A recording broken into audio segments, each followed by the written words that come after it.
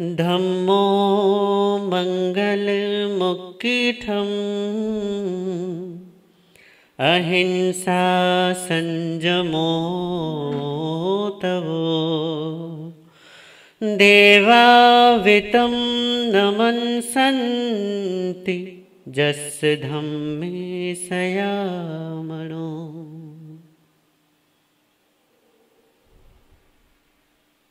अहिंसा, संयम और तप। ये धर्म का उत्कृष्ट मंगलमय रूप है। जिन महाशयों का, महानुभावों का मन सदा, सर्वदा धर्म में लीन रहता है, उन्हें देवता भी नमस्कार करते हैं।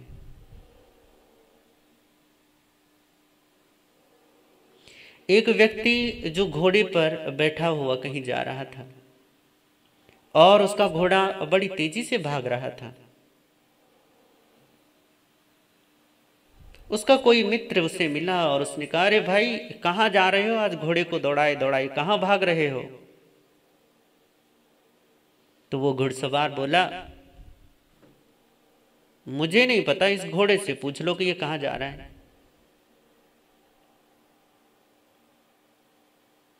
उससे पूछा गया कि भैया, जा कहाँ रहे हो? तो बोलता है कि मुझे नहीं पता।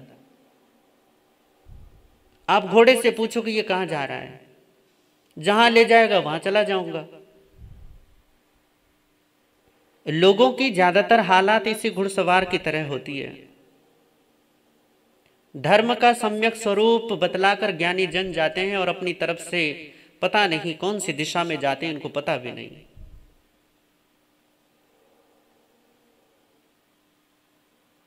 मंगलमय धर्म का सारा स्वरूप ज्ञानियों ने शास्त्रों में, अपने वचनों में, अपने संदेशों में प्रकट किया है, स्पष्ट किया है। तुम्हें कृष्ण से प्रेम है तो पढ़ो, गीता पढ़िए। महाभारत और भागवतम पढ़िए। राम से प्रेम है तो रामायण पढ़ो।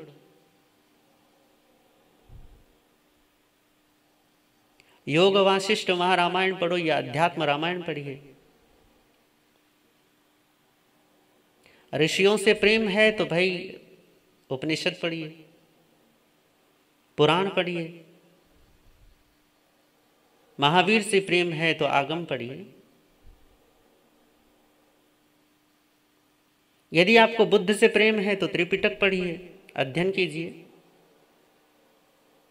और सारे महापुरुषों ने धर्म का पूरी के पूरा सर्वांगीण उन्होंने स्वरूप, जिन जिन तरीकों से बताया जा सकता है धर्म के स्वरूप को, उन उन सारे तरीकों से उन्होंने धर्म की व्याख्या की है, धर्म को परिभाषित किया है, धर्म को बताया है। जितना सरल किया जा सकता है, बाकी तो सारी की सारी समझ केवल अनुभव से प्रकट होती है। केवल हमारी अनुभूति ही है जो धर्म का अंतिम प्रमाण है। ज्ञानियों के वचन उस अंतिम प्रमाण की तरफ़ हमें ले तो चलते हैं, परंतु इतनी फुर्सत लोगों के पास है कहाँ? कि वो स्वयं इन चीज़ों का अध्ययन करें, पठन करें, समझें, समझने के लिए फिर आगे बढ़ें, थोड़ा अपना ज़ोर लगाएँ, थोड़ा पुरुषार्थ जगाएँ, इतना वक्त है भी किसी के पास नहीं। परंतु फिर भी मैं देखता हूँ कि लोग यदि फिजूल के कामों में, व्यर्थ के कार्यों में, कर्मों में, व्यापार और धंधों में यदि इतने उलझते हैं, जिन चीज़ों से उन्हें हैरानी होती है, परेशानी होती है, दुख पैदा होते हैं, क्लेश पैदा होते हैं, यदि इन चीज़ों के लिए वक्त है, अपने अहंकार को पोषित करने के लिए पूरा वक्त है, अपने लोभ को संतुष्ट करने के लिए पूरा समय है, मनोरंजन के लिए पूरा समय है समय काटने के लिए पूरा समय है। परंतु स्वाध्याय के लिए ध्यान के लिए फिर समय पता नहीं कहाँ चला जाता है। फिर कोई समय नहीं है। परमात्मा पूजन के लिए समय नहीं, बाकी सब चीज़ों के लिए समय है। भोजन के टाइम पे भोजन भी होता है, शयन के टाइम पे शयन भी होता है। काम के टाइम पर काम भी होता है। सब चलती दुनियादारी में, सब अपने अपने समय पर, अपने अपने निहित समय पर आपके चलते हैं। परंतु जब बात आती है धर्म की, जब बात आती है ध्यान की, जब बात आती है स्वाध्याय की, जब बात आती है सत्संग की, तब पता नहीं समय कहाँ चला जाता है। आपका सारा समय चुक जाता है कि समय ही खत्म हो गया, समय ही नहीं है। आपका सारा समय संसार के लिए नियोजित है। आपका सारा समय विषय और वासनाओं के लिए नियोजित है। आपका सारा समय भोगों और सांसारिक कामनाओं के लिए नियोजित है। जब आपके पास इतना वक्त है कि आप उन्हें यहाँ दे सकते हैं तो थोड़ा वक्त धर्म के लिए क्यों नहीं है? वहाँ क्यों हम इतने बहाने बाज हो जाते हैं कि भैया हमारे पास वक्त नहीं है, हमारे पास समय नहीं है? और समय भी हो तो लोगों में इतनी बेचैनी घर कर गई है। इतनी चंचलता, इतनी अस्थिरता भर गई है भीतर कि पाँच मिनट भी यदि उनसे आँख बंद करवा के बिठा दो तो भैया बैठा नहीं जाता। कोई आपसे यदि एक या दो नियम की पालना चाहता है तो वो भी सही ढंग से आपसे वो पालन भी नहीं होता। उसमें भी आप रास्ते निकालना चाहते हैं, उसमें भी आप बहानेबाजी करते हैं, उसमें भी आप कोई ढील चाहते हैं कि भैया नहीं, इतना कठोर नियम तो हमसे निभे को नहीं। इसमें थोड़ी ढील दे दो। इसको थोड़ा कमज़ोर कर दो, थोड़ा रास्ता बता दो, कोई पतली गली दिखा दो इस नियम में भी। धर्म में ही आपको सारी ढील चाहिए होती है। सुबह से लेकर शाम तक दुकान पर बिना बिना किसी शिकायत के, बिना किसी उदासी के बिना किसी निराशा, हताशा के आराम से बैठे हो, चाहे ग्राहक आए या ना आए, सुबह से लेकर शाम तक तुम दुकान पर बैठे रह सकते हो, परंतु पाँच मिनट के लिए यदि कोई कहे कि आँख बंद करके परमात्मा का नाम स्मरण करो तो वो तुमसे नहीं होता। पूरे दिन संसार की बातें करवा लो, पाँच मिनट प्रवचन सुनवा लो, पाँच मिनट में उबासी ना आने लग जाए तो बताना। कारण क्या है? कारण यही है कि हम सुनते हैं इधर से और इधर से निकाल देते हैं। ये बिल्कुल ऐसा ही है कि जैसे घड़े को उल्टा कर दिया जाए तो उसके ऊपर चाहे कितना ही पानी पानी चला जाए तो भी घड़े पर कोई असर नहीं होने वाला, घड़ा भरने वाला नहीं है। तो सारे उल्टे घड़े हैं। परमात्मा के संदेशों की बारिश तो होती है। परमात्मा का ज्ञान अविरत बरसता तो है, परंतु सब ऊपर से निकल कर चला जाता है, बहकर आगे बह जाता है। और आदमी वैसे के कोरा का कोरा। सालों साल हो जाते स्वाध्याय ध्यान प्रवचन श्रवण करते करते, परंतु लाभ तो दिखता नहीं है। आप वहीं के वहीं होते हैं। आप शुरू में जब आपने कोई एक दुकान, कोई अपने एक फैक्ट्री या किसी भी प्रकार का कोई जॉब वगैरह आपने शुरू की थी तो तब से लेकर अब तक आपके घर में काफ़ी चीज़ें काफ़ी चीज़ों की बढ़ोतरी हो गई। पहले मकान छोटा सा था अब बड़ा है दो मंजिल तीन मंजिला है। पहले छोटे से एक एक या दो कमरों के सेट में आ, फ्लैट में रहा करते थे। अब यह है कि पूरा का पूरा फ्लैट हमारा है। पहले साइकिल रहती थी घर के आगे खड़ी और अब यह है कि भैया दो दो मोटरसाइकिल हैं और एक दो कार हैं और घर के आगे बिल्कुल बजाहो जलाली है। इतनी सारी चीज़ें आप एक दुकान से खड़ी कर देते हैं। परंतु धर्म का जो सच्चा स्वरूप है, वो सालों साल की मेहनत के बाद भी हमारे जीवन में नहीं आता। कारण क्या है? क्योंकि समझ ही नहीं है कि धर्म है क्या।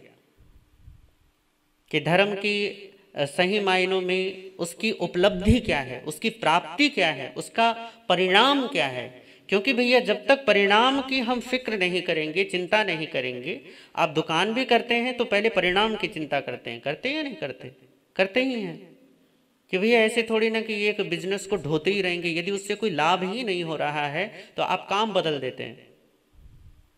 यदि धर्म को सालों साल करने के बाद भी यदि आपको अपनी कामनाओं में अपने राग और द्वेष में अपने कषायों में आपके अपने भीतरी मलों में मैलों में यदि कोई कमी नहीं दिखाई दे रही है तो फिर थोड़ा चिंतन करना चाहिए कि ये हो क्या रहा है। यहाँ समय बिताने के लिए यह अंताक्षरी थोड़ी ना खेली जा रही है। क्या आपका बस मनोरंजन भी हो जाएगा, समय भी कट जाएगा। ये कोई लूडो का खेल नहीं है भैया कि भैया अभी टाइम है तो चलो आ जाओ और खेल लो टाइम बिता लो।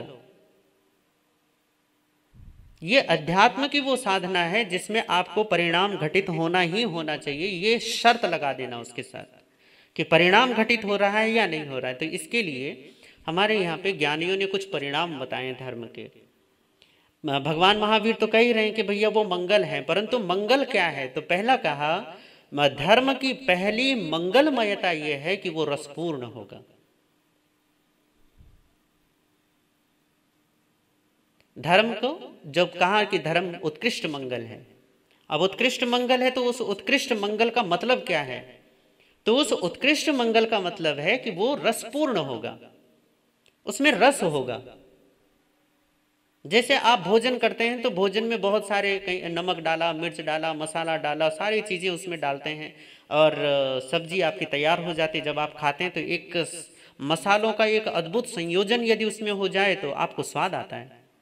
जीभ पर रखते ही भोजन का स्वाद पता चलता है। इसी को रस कहते हैं। हमारे यहाँ पर परमात्मा का नाम ही रस है, रसो वह सह, वह रस ही है। परमात्मा को रस बोला, धर्म को रस बोला है, सत्य को रस बोला है। अब यदि ये रस है तो आप अपने जीवन में झाँक कर देखो कि रस है या नहीं। जैसे ईख का जो टुकड़ा होता है, या जो गन्ना होता है, गन्ने के पोर पोर में रस होता है। या जैसे चीनी के एक एक टुकड़े में, एक एक अंश में। इसी तरीके से खड़ी जो चीनी होती है जिसे हम मिश्री कहते हैं गुड़ कहते हैं इसके एक एक अंश में मिठास होती है एक एक अंश में रस होगा। धर्मात्मा व्यक्ति की ये पहली पहचान है। उसका ये पहला लक्षण प्रकट हो जाएगा। मंगलमयता का पहला आ, उसके जीवन में ऐसा परिणाम दिखाई देने लग जाएगा कि वो रसपूर्ण दिखाई देगा खिला खिला दिखाई देगा। ये रस पूर्णता उसके जीवन में आपको दिखाई देगी।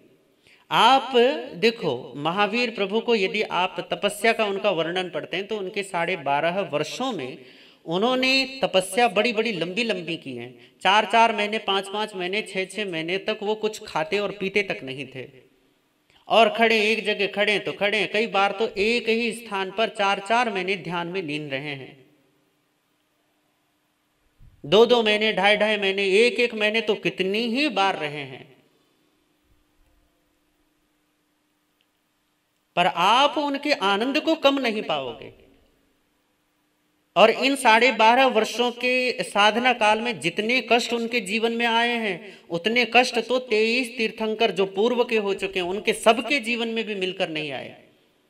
हमारे यहाँ पर आचार्य भद्रबाहु स्वामी कहते हैं कि चौबीस तीर्थंकर हैं और चौबीस तीर्थंकरों में से पहले से लेकर तेईसवें तीर्थंकरों के सारे उपसर्ग, सारे कष्ट, सारे दुख एक तरफ़ कर दो और भगवान, अकेले भगवान महावीर के दुख एक तरफ़ कर दो तो जितने दुख भगवान महावीर के साधना काल के इन साढ़े बारह वर्षों में आए, उतने दुख तेईस तीर्थंकरों के जीवन में आए ही नहीं। सबसे ज़्यादा दुख, सारे सबसे ज़्यादा परेशानियाँ, सबसे ज़्यादा उपसर्ग भगवान महावीर स्वामी ने सहे। त्रियंचों से सहे मनुष्यों से सहे देवताओं से सहे प्रकृति जन्य सहे।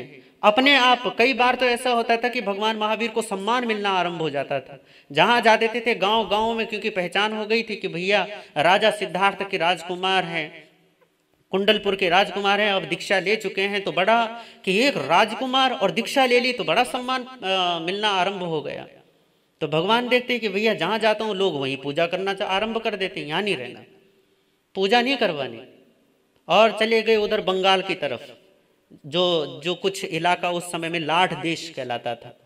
वहाँ गए, वहाँ इतनी पिटाई हुई, वहाँ भूखे रहना पड़ा, वहाँ खाना भी मिलता था, कई बार पारने के लिए जाते थे। तो क्या मिलता था? बासी, यदि किसी ने सत्तू बना दिया या घर में कोई उड़द के बाकले मिल गई या कुछ ऐसी रूखा, सूखा, वो भी जानवर भी जिसे सूंघ कर मुँह बनाकर चले जाए, ऐसा खाना मिलता था और वो खाते थे।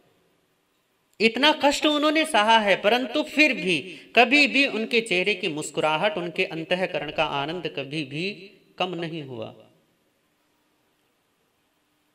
ये रसपूर्णता कि जीवन की बाहरी परिस्थितियाँ चाहे कैसी भी क्यों ना हो, परंतु भीतर में रस भरा होना चाहिए। भीतर में प्रतीति होनी चाहिए अपने आनंद की।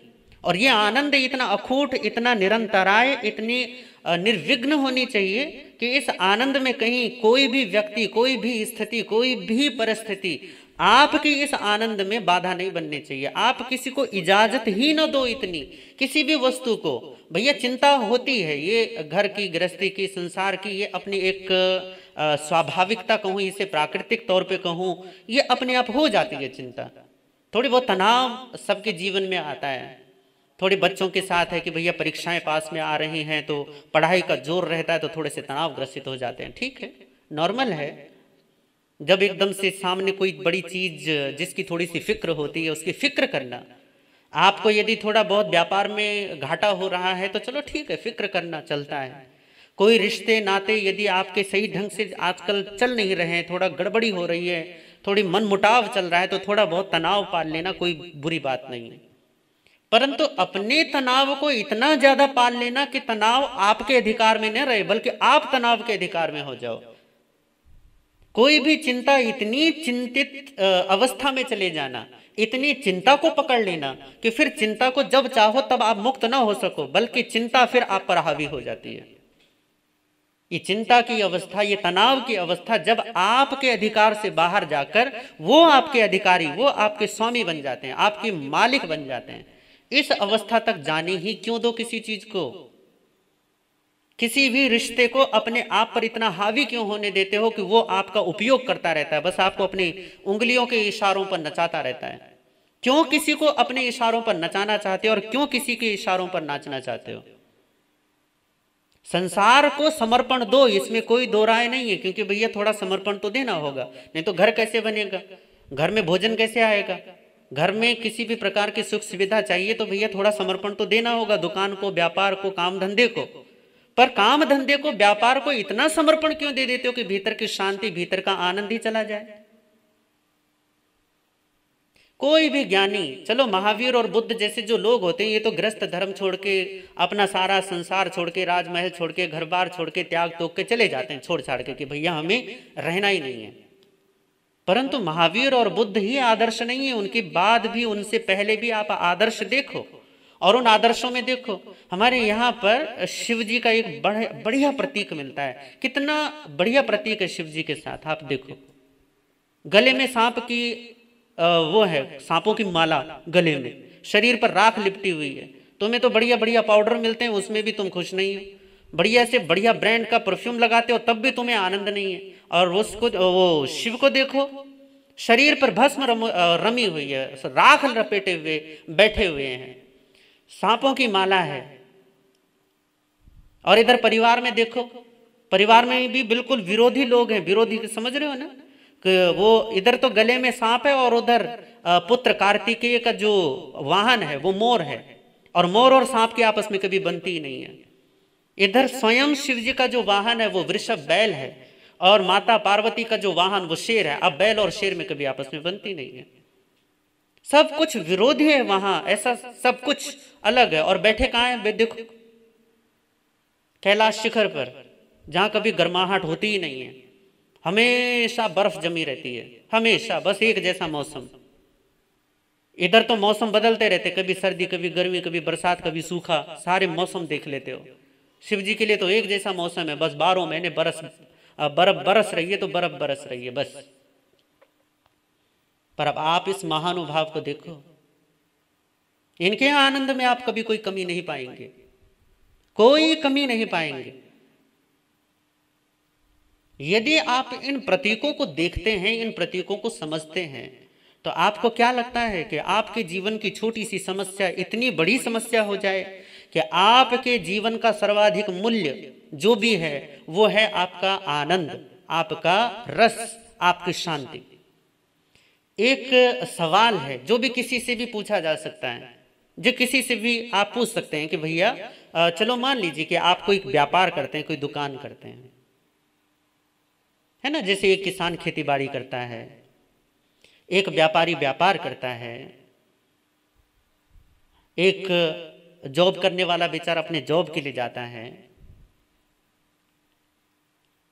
इन सबसे पूछा जाए कि ये काम कर किस लिए रहे हो? क्यों भैया ये किसान क्यों इतने आ, मौसम झेलता है? क्यों इतने पसीना बहाता है? क्यों? किस लिए? पूछो उससे। तो कहेगा भैया अनाज पैदा करेंगे अनाज उगाएँगे इसलिए हम मेहनत करते हैं। चलो अनाज उगाया। किस लिए उगाया? कहेंगे अनाज उगेगा अनाज फ़सल बढ़िया होगी फ़सल बढ़िया होगी तो हम बाज़ार में बेचेंगे। किस लिए? क्योंकि पैसा आएगा। अच्छा? तो पैसे से क्या आएगा? फिर पैसे से फिर बहुत सारी चीज़ें आएँगी। बच्चों की पढ़ाई लिखाई होगी, घर में कपड़े लत्ते आएँगे, घर में और हमारी और चीज़ें, घर बढ़िया बन सकता है, घर में सुख सुविधाएँ जुटेंगी, ये सारी चीज़ें हैं। इसलिए हम पैसा कमाते हैं। सुख सुविधाओं के लिए पैसा कमाते हो कि घर में अच्छा बेड होगा, अच्छे सोफा सेट होगा, अच्छी रसोई की क्रोकरी होगी अच्छा भोजन घर में आएगा, अच्छी गाड़ी आएगी, अच्छे कपड़े आएँगे अच्छा फ़ोन आएगा, अच्छे अच्छी अच्छी चीज़ें घर में आएँगी। इसलिए हम पैसा कमाते हैं। अरे हाँ इसलिए पैसा कमाते हैं। इसलिए तो पैसा चाहिए। और किसके लिए चाहिए पैसा? चलो अच्छा ठीक है। अगर ये अच्छी अच्छी चीज़ें आ गई तो ये अच्छी अच्छी चीज़ें क्यों चाहिए? तो कहा जी, अच्छी चीज़ें होंगी ना तो सुख मिलेगा, आनंद मिलेगा, बढ़िया रहेगा।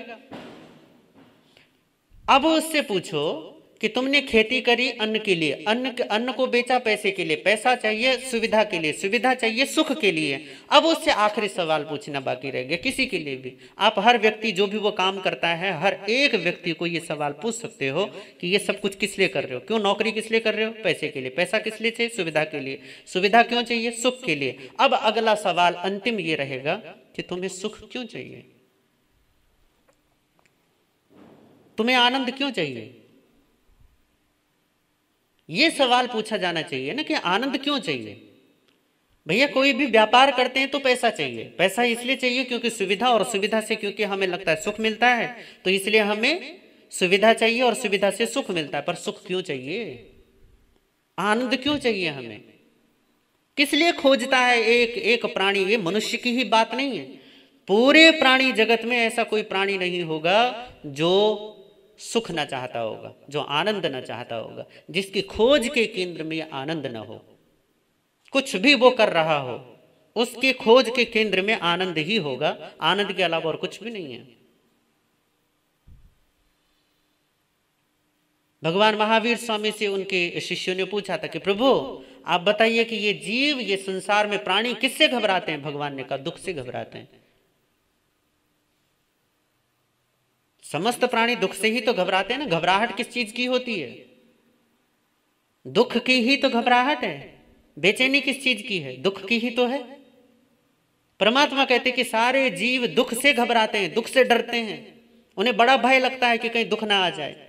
और ये समस्त प्राणियों की एक कॉमन संज्ञा है। उनमें सब में ये प्राप्त मिल जाएगी। दुख से प्रत्येक प्राणी भयभीत होता है। तो परमात्मा से पूछा गया कि प्रभु, यदि ये दुख से घबराते हैं तो ये दुख से, ये दुख कहाँ से पैदा होता है? क्यों पैदा होता है? क्योंकि जिससे हम घबराते हैं, उस चीज़ के पास में तो हम कभी नहीं जाएँगे। पर आप ये देखोगे कि दुख से घबराने के बावजूद भी लोग दुख से डरते हैं प्राणी, फिर भी वह प्राणी।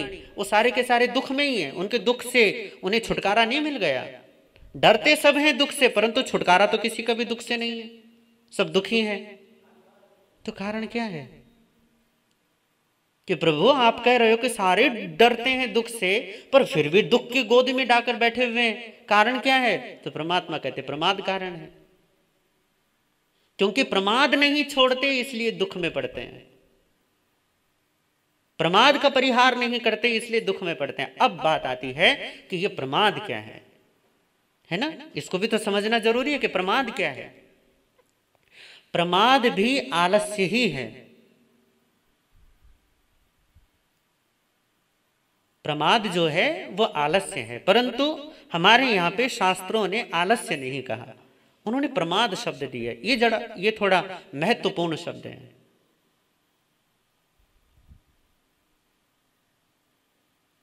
प्रमाद का मतलब होता है, आलस्य नहीं होता वैसे। आप आलस्य क्या कहते हो कि भैया, ये ज़रूरी काम था, ये तुमने किया नहीं, या मतलब जो काम था उसमें आलस्य कर जाना। प्रमाद का मतलब है, जो सर्वाधिक आवश्यक है, उससे, उसमें से बहानेबाजी करना। उसमें से रास्ते निकालना। बल्कि वो भी प्रमाद है, जो तुम कुछ कर तो रहे हो तुम कर भी रहे हो, कोई ना कोई कर्म तो चल ही रहा है तुम्हारे जीवन में। कर्म के चलने के बावजूद एक आदमी खूब मेहनत मजदूरी कर रहा हो, पर फिर भी वो प्रमादी हो सकता है। कारण क्या है? कारण ये है कि उसका पुरुषार्थ किस तरफ़ है, उसके पुरुषार्थ के लक्ष्य में क्या है, उससे आप प्रमादी और अप्रमादी होते हैं। पुरुषार्थ के लक्ष्य में जब आप मूल्य देते हैं अपनी शांति को, अपने आनंद को, अपने रस को तब आपके जीवन में अप्रमाद घटित होता है। जब आपके लिए मूल्य वस्तुओं का बन जाता है, जब आपके लिए मूल्य चीज़ों का ज़्यादा हो जाता है, लोगों का ज़्यादा हो जाता है, घटनाओं और स्थितियों का ज़्यादा हो जाता है, तब आप पर घटनाएँ हावी होती हैं, तब आप पर लोग हावी होते हैं, तब आप पर ये मौसम, ये प्रकृति, ये सारी की सारी चीज़ें आपके ऊपर मालिक बनकर आपको अपने इशारों के हिसाब से चलाते हैं और आपको चलना पड़ता है। प्रतंत्रता है, प्रतंत्रता की अवस्था है। इस अवस्था में आपको वो करना ही होगा, जिसके लिए पीछे से आदेश आएगा। और आप करते हैं, झक मार कर करते हैं, मजबूरी में करते हैं, मन मार कर करते हैं। और ये मन मार कर करने की स्थिति में भी कर्म तो चल ही रहा है ना? कोई आपको प्रमाद ही कह दे तो आप कहेंगे कि नहीं नहीं नहीं, ये कोई प्रमाद नहीं, पर ये प्रमाद है। क्यों? क्योंकि आपने अपने आनंद से ज़्यादा मूल्य किसी व्यक्ति को दिया है, किसी वस्तु को दिया है, किसी घटना को दिया है कि यदि ऐसी घटना, ऐसी सिचुएशन होगी तो मैं आनंदित रहूँगा। अब सिचुएशन तो हमेशा आपके अकॉर्डिंग नहीं होंगी। घटनाएँ तो हमेशा आपके इशारों के हिसाब से नहीं घटेंगी। ये तो अकस्मात जैसे संस्कार, वैसे घटनाएँ आपके सामने प्रकट हो जाती हैं। जब आपके अकॉर्डिंग सिचुएशन नहीं होती तो आप कहते कि हाय, मर गए हम तो। यही प्रमाद है। और इसी प्रमाद से दोबारा दोबारा दुख का एक दुष्चक्र चलता रहता है। दुख का एक चक्र बना रहता है। आप एक श्रृंखला को निर्मित करते रहते हैं। पीछे से छूटता रहता है और नया बनता रहता है।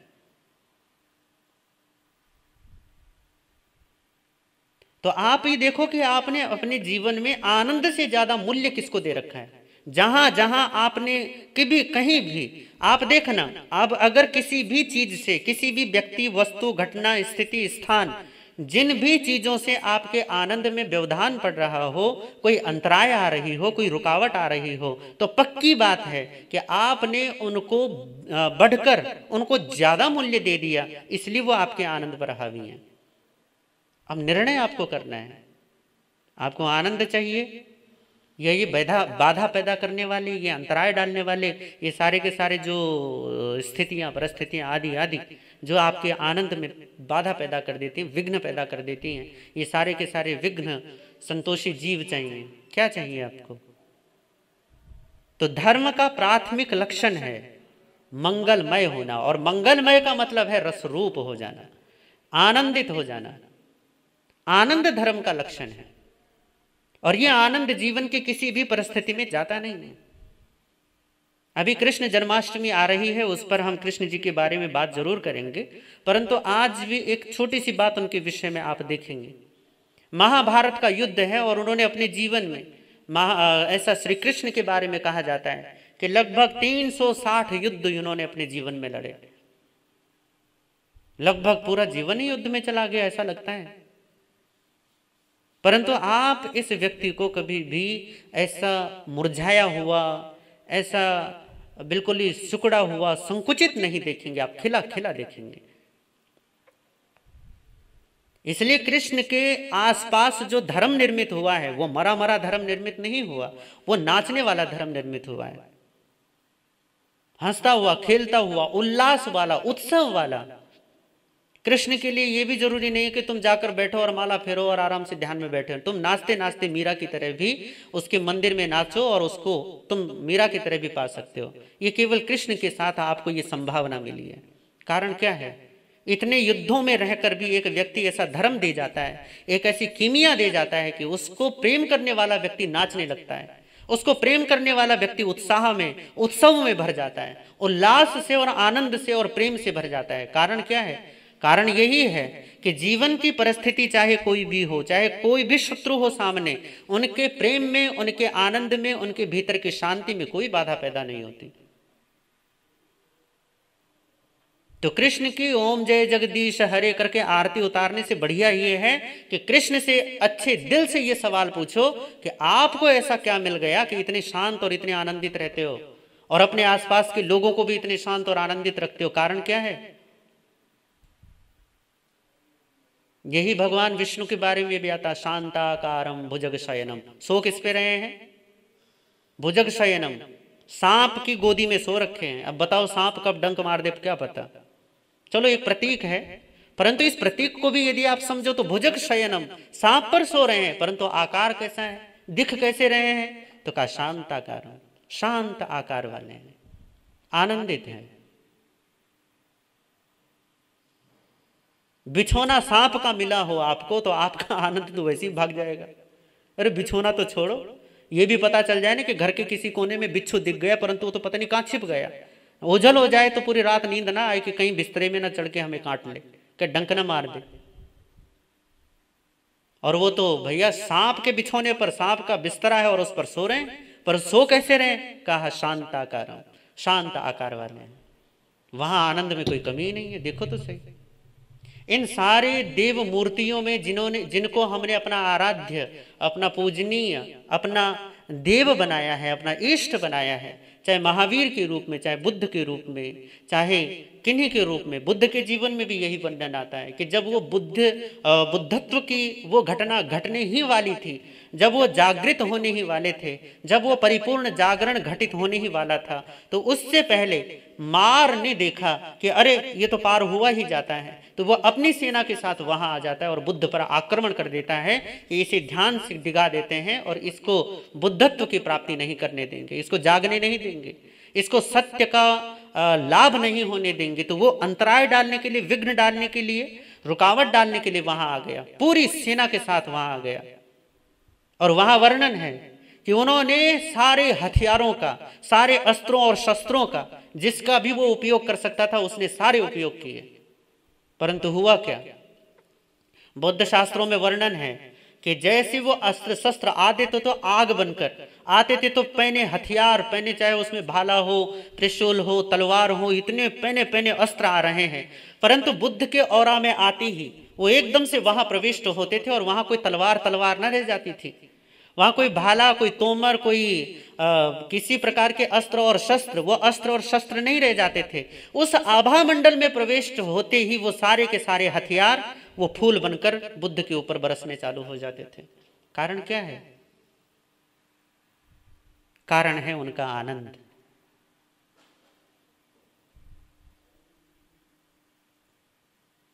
उन पर आक्रमण तो हथियारों से किया जा रहा है, पर जब वो बुद्ध के पास वो हथियार पहुँचते तो वो हथियार नहीं रह जाते, वो फूल बन जाते हैं। सुगंध देने वाले फूल। कहा एक तलवार जो दूसरों को अलग करती, विभक्त कर देती है, जो काट देती है किसी को, और कहा एक फूल जो किसी को, जो किसी पे लग जाए तो सुगंध के साथ साथ सुंदरता भी दे देता है, जो सुंदर भी बना देता है। तो ऐसे फूल बन जाइए। जो खुद भी सुगंधित हो और दूसरों को भी सुगंध दे जो खुद भी सुंदर हो और दूसरों को भी अपना सौंदर्य बांट दे। यही तो ज्ञानियों से सीखना है हमें और क्या सीखना है? कहलाने के लिए हम सब भक्त कहलाते हैं ना भक्त क्या हो? गुरु भक्त आए हैं है ना? आप जब आ, कोई बाहर से दर्शनार्थी आता है तो आप क्या कहते हैं कि भैया उस गाँव से उस शहर से हमारे गुरु भक्त आए हैं।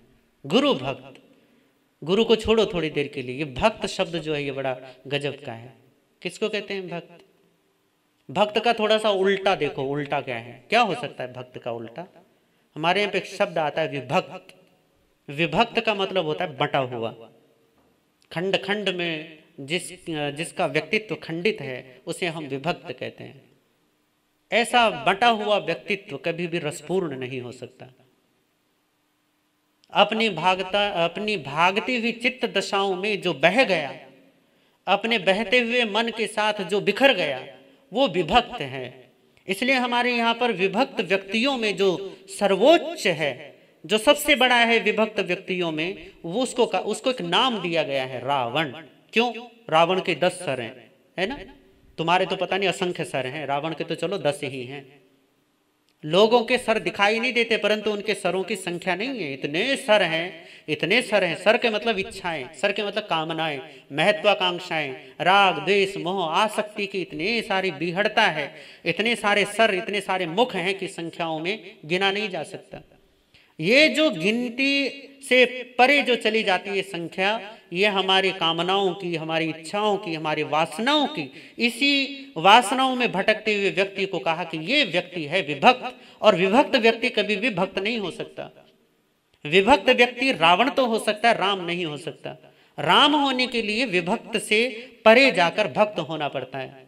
और जो भक्त हो गया, वही तो आनंदित हो गया, वही रसपूर्ण हो गया।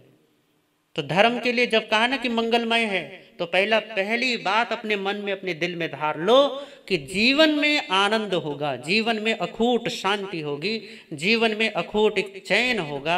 यदि ये शांति है, यदि ये आनंद है, यदि ये रसपूर्ण भगवत्ता आपके जीवन में घटित हो रहा है पल पल बढ़ रहा है, वर्धमान हो रहा है तो आप निश्चित मानो कि धर्म का सही पालन, सही आराधन हो रहा है। यदि नहीं तो फिर थोड़ा सा रुक कर, थोड़ा ठहर कर, थोड़ा बैठ कर आलोचन कीजिए, थोड़ा सा नज़र दौड़ाइए कि गड़बड़ी कहाँ चल रही है। तो पहली बात पर हमारी थोड़ी सी चर्चा हुई है, अगली बातों पर भी हम चर्चा करेंगे, अगले सूत्रों पर भी चर्चा करेंगे। परंतु आज के लिए इतना ही कि धर्म मंगलमय है, मंगलमय धर्म वह है जो रसपूर्ण है, आनंद से परिपूर्ण है। इन्हीं भावनाओं के साथ, ओम शांति।